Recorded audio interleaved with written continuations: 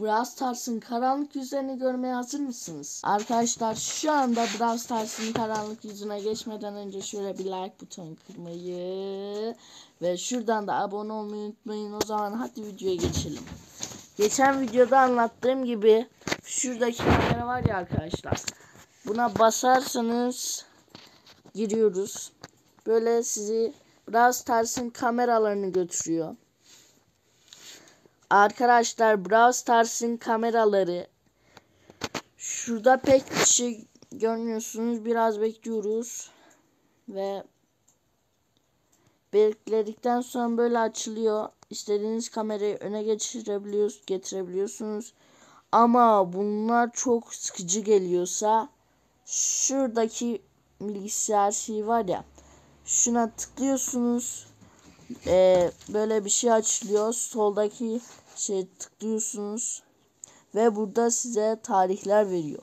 Burada herhangi bir birine girdiğinizde de bekliyoruz ve bekliyoruz ve biraz daha bek bakın burada Dynamite'ın madenleri bulduğu o kötü madenleri bulduğu zaman izliyoruz patlıyor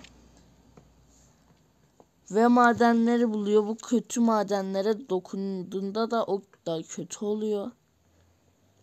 Görüyorsunuz bu ilk bu kadardı. Sonra ilk başkasına basıyoruz.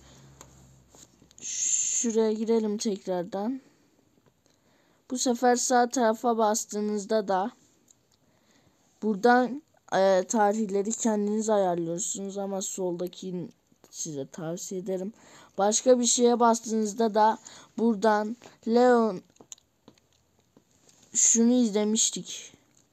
Tekrar çıkalım. Yes.